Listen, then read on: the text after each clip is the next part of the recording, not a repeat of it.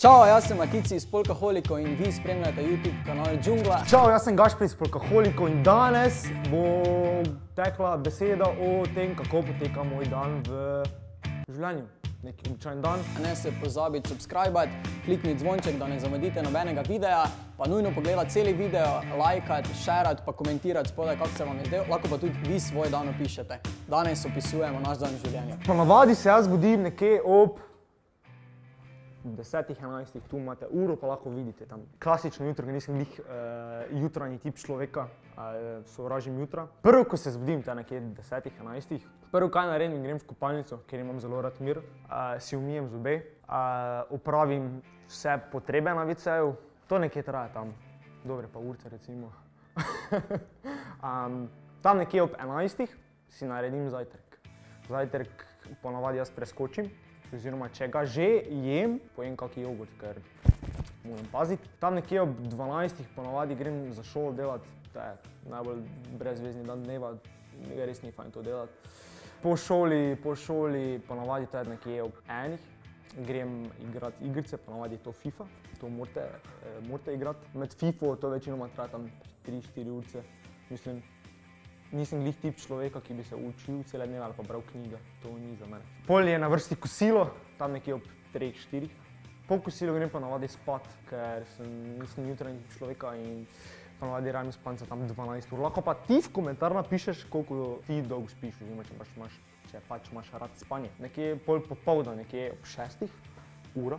Grem pa navadi vaditi kitaro, oziroma bas kitaro. Po pa že ura nekje 7, ko grem kaj bi ste mi rekli, laufat, tekat, um, da se lepo razgibam. Imam večerjo, za večerjo pa navadi jem kakšne kosmiče, mleko, um, čokolino.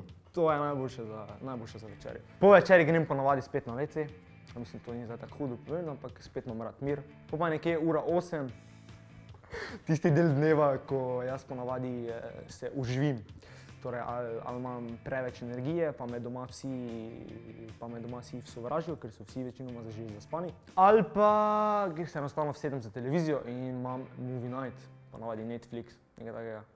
Po pa ne spat, po pa se to vsak dan približno ponovi. Uh, a ja, pa na džunglu, prijem, mes snemati videa, ne?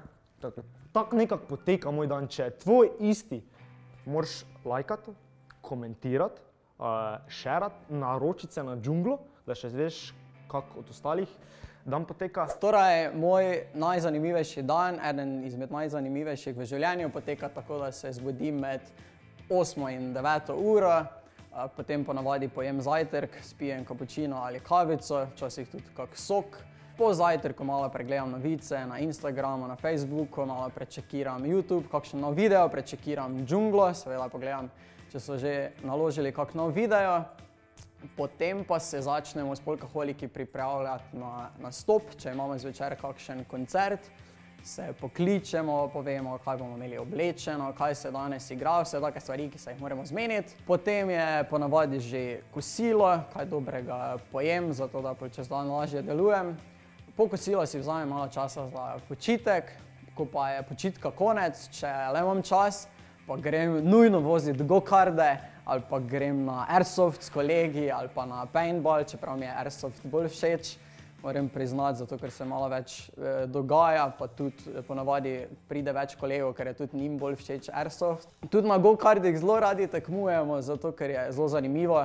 Ponavadi jaz zmagam, ali pa moj kolega Žiga, tudi iz Polkaholikov. Potem pa nastopi čas, ko se je treba začeti pripravljati na večerni koncert. Takrat pa je že malo vznemirjenja, malo smo že nahajpani za koncert, da vidimo, kaj se bo dogajalo, komaj že čakamo publiko, da bomo na odru, da bojo peli, plesali, vse živo, kaj se pod odrom dogaja na odru, vse živo, v glavnem, kaj je najzanimivejše. Potem ponavadi se odpeljemo na koncert, pol pa je tista zadnja, najbolj zanimiva ura pred koncertom, ko pa se začnemo preoblačiti, ljudje začnejo prihajati, mi se čisto dokončno uredimo svoje frizure, tako da smo pol na koncertu, izgledamo tipi topi, včasih še malo boljše kot zdaj. Potem pa, ko nastopi zadnjih par minut pred koncertom, pa se začne tisti res najbolj vznemirljiv čas, predno gremo na oder, se pripravimo, vzamemo inštrumente, gremo na oder, pol pa ko vidimo vse ljudi, ki so pod odrom, ki bojo cel koncert z nami peli, plesali, žurali,